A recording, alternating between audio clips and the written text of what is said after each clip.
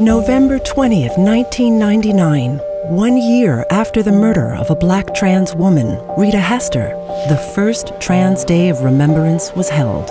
Today, her name still lives on.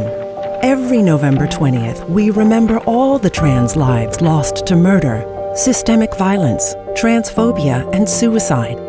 This is a day for trans communities to unite and honor our lost siblings. But collective trans grief is something we experience throughout the year, each time news of another murdered trans person breaks. Each time we correct reports to honor our lost siblings by using their correct names and pronouns, to remember them for who they were.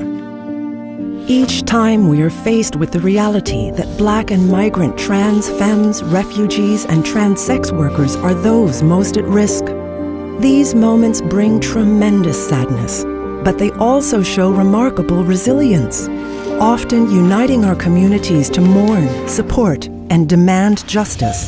We want a future where trans lives are respected, valued, and protected. So today we remember every trans life lost globally. We come together in our diversity to build communities and societies where trans grief can be transformed into trans joy through collective care.